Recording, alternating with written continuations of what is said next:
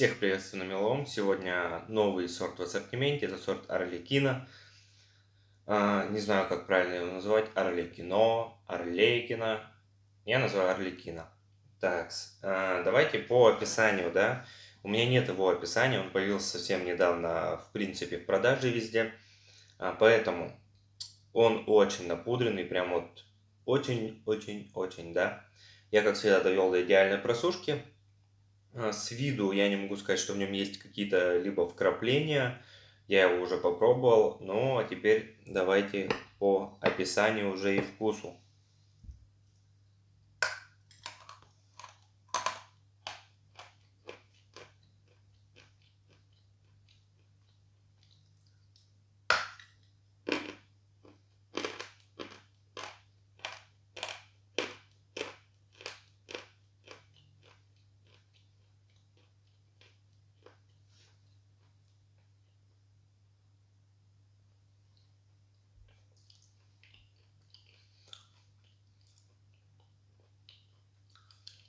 Откусывается он очень легко, как и у сухих, допустим, сортов. Да, это, кстати, сухой вроде бы сорт, но небольшая песочность в нем присутствует. Возможно, это песочный сорт, потому что когда мне приходят сухие сорта песочными, они какие-то невкусные. Но когда приходит песочный сорт песочный, он вкусный, но это не как не знаю, Халки, допустим, Асколья, да, вот такие песочные сорта. Нет, он не подобный. Он скорее к кокосу, либо к тюменскому, вот что-то из этого рода. То есть грубая такая, хорошо держащаяся долго крупинка –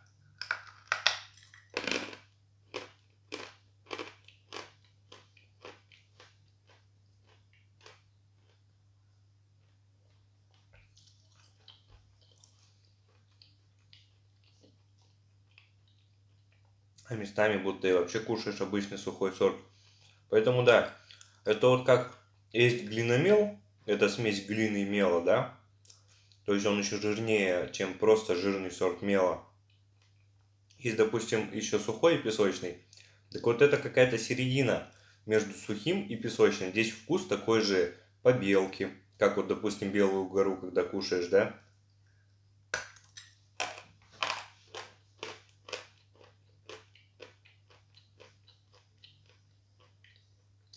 Ну хотя...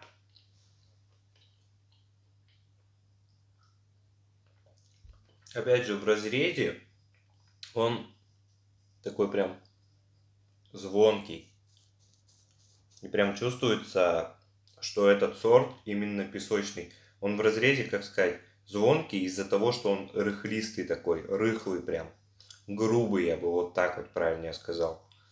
А, по поводу также вкуса немножко ощущение того, что он сластит. Есть, как и сказал, побелка. Чувствуется хорошо. В целом стандартный меловой вкус.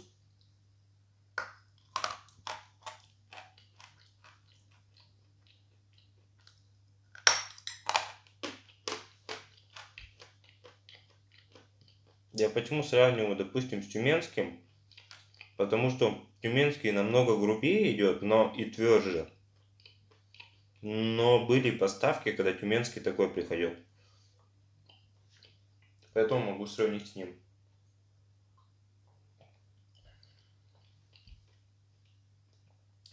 Для меня, не любителя песочных сортов, даже тот же тюменский, вот он чувствуется вкус вот этот. Почему я и сравниваю с тюменским или кокосом, да? Я не могу много их скушать. То есть раньше мне нравились все, допустим, сорта или же, к примеру, сухие только, да, и я их прям любил очень сильно. Возможно, потому что начал изначально кушать чисто тюменский. А сейчас, когда у меня большой, огромнейший ассортимент, около 150 всего сортов, а, я не могу много скушать тюменского.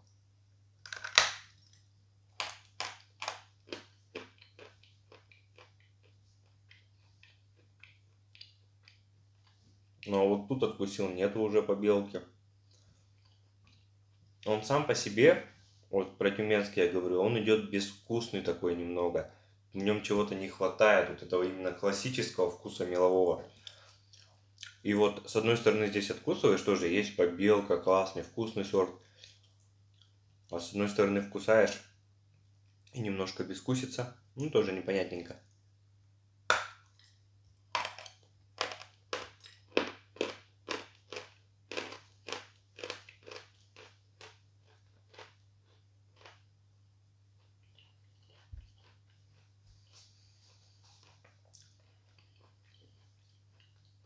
Но крупинка хорошая, долго ежится. Поэтому для любых, для любых, для любителей сухих сортов э, им, возможно, понравится он, ну, частично, да. Для любителей песочных сортов, особенно тюменского, он прям зайдет.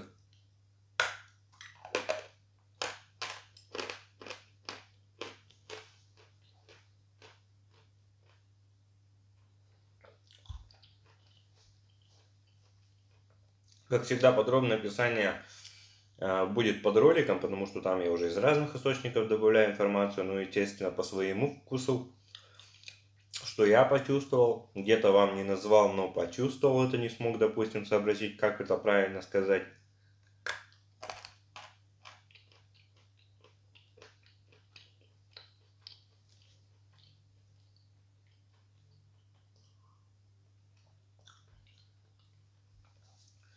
Понимаю немножко людей, которые пишут в комментариях, что люди же это покупают, едят. Поэтому, если вы не глотаете, так вы говорите об этом. Мне интересно, а подобного жанра ролики они у меня вообще на канале смотрят? То есть они зашли, ага, СМР ролик, а он не глотает, но всем советуют. И опять же, если я, я, во-первых, никому ничего нигде не советую, то, что именно покупать, есть, кушать, проглатывать его, да, я вам просто рассказываю свои вкусовые ощущения. А уж то, что это вредно, я думаю, каждый там милоежка или длинноежка, да, знает это.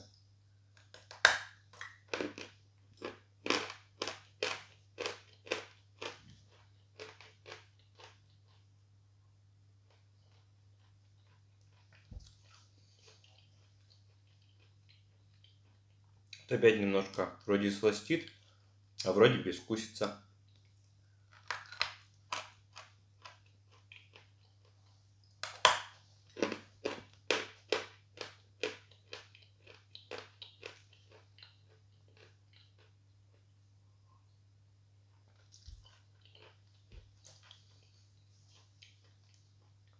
Потом многие спрашивают, есть ли у меня проблемы какие-то там с желудком и так далее. Но я думаю, если кушать столько мела, сколько я ем, они будут у всех, но вообще я стараюсь пить очень много воды во время и после поедания мела, чтобы желудку было попроще, и часто ходить в туалет, иначе, иначе будет действительно плохо.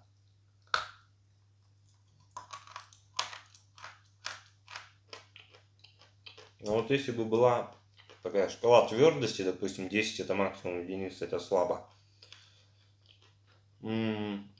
Если мы берем в эту шкалу сорт стеклянный, он определенно занимает десятку, то в такой шкале, допустим, сорт тюменский был бы примерно занимал бы, может быть, шестое, наверное, место. Длинномел э, козье молоко, либо же подвислое, был бы где-то на восьмом месте. Подобные сорта, и именно этот сорт, ну, занимает примерно третье где-то место. Но если мы убираем стеклянный, я сужу уже по своему ассортименту, да, то подвислое бы или козье молоко бы занимало десятое место. Потому что стеклянный, он блин, не приходит, каким был. И это очень печально, потому что это был самый твердый мел. Не только у меня, но и в целом. Ну, нет больше подобного сорта, настолько твердого, что от такого куска это примерно ну, тысяча процентов, что вы не сможете ничего откусить. А вот, допустим, вот это вот максимум, да, от которого кусочка от сорта стеклянного вы сможете откусить. Ну, возьмем даже глиномел козье молоко, учитывая, что ну, от такого куска он сложно тоже откусывается, но реально. там невозможно просто от такого куска откусить. Я был в шоке, что вот, думаю, замел такой из... Что у него различается с обычным каким-то другим кусковым мелом, что он настолько твердый. Почему? Вот от чего это зависит?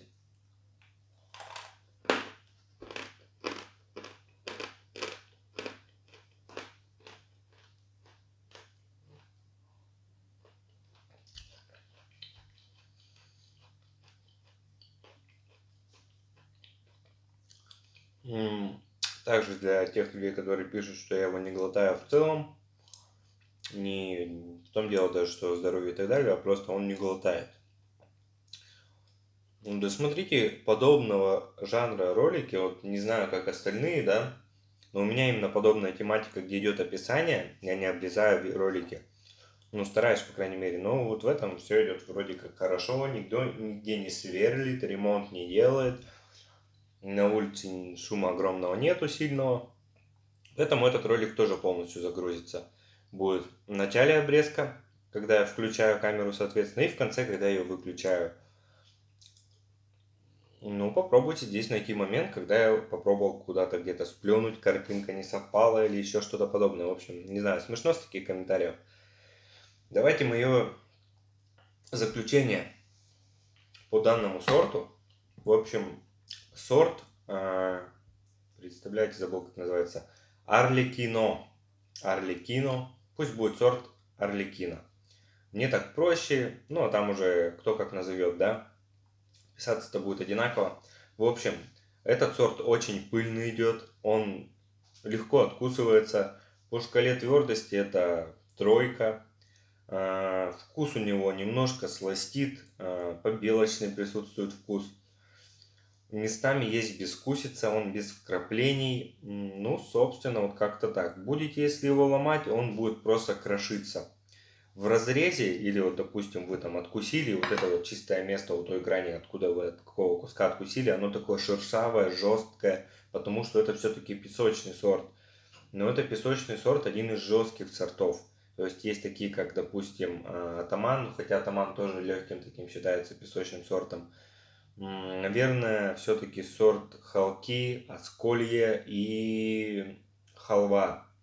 Вот он с ними схож, но этот поинтереснее. Вот в тех сортах еще попадается вот это вот, как сказать-то, всякая ерунда внутри мела. Это даже не вкрапление, а жесткость, не жесткость, комочки какие-то, которые не проживать, придется их выплевывать.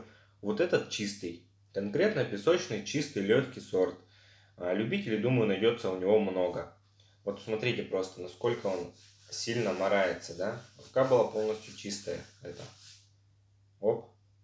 Просто, насколько же сильно он заморал. Это же жестко. Давайте я могу даже... Вот эта рука чистая, да? Вот мы отряхнули. Кто-то, может быть, подумал, что я специально пыли сюда насыпал. Вот я отряхнул его. Плюс ко всему, я здесь только что рукой еще вытирал. Еще раз пальцем этим вытеру. Вот палец заморан, остальное все чистое. Давайте смотреть. О, ну вообще, просто максимально марки. А поэтому за заказами я жду всех в описании, там есть ссылочки на группу ВКонтакте, потому что, ну вот сколько бы ни говорил, да, кстати, на удивление, никто еще не жаловался на то, что в каждом ролике практически я говорю, как заказать можно. И для меня это, с одной стороны, удивление, с другой стороны, для меня удивление, когда в комментариях э, много и часто пишут, э, где можно заказать. Ребят, группа ВКонтакте Меловой, номер для заказа в WhatsApp также есть в описании. В общем, я жду всех там. Если для меня вот этот сорт, допустим, очень-очень марки, да, ну, один из самых марки или самый марки, я не знаю, как хотите. Наверное, один из самых, потому что много очень подобных то самый немаркий сорт из кусковых, давайте будем брать сухие, жирные сорта, глиномелы и песочные, да, наверное, все-таки песочные останутся самыми маркими. Самые не марки, это, думаю, глиномел, тоже козье молоко, хотя, наверное, подвислый самый не марки. Как-то так. В общем, скоро будет, как и в предыдущем сорте козье молоко будет такой же красивый, красочный АСМР ролик. В общем, ждите, потому что С этим сортом, думаю, получится подлиннее заснять. Там все-таки он очень жесткий, там прям зубы устают, когда кушаешь. Здесь поинтересней. Всем пока, ставьте лайки, подписывайтесь на канал и до новых встреч.